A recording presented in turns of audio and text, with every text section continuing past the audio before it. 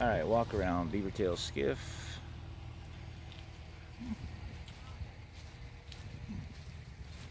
Coming out of Panama City, going to Key West, Stock Island.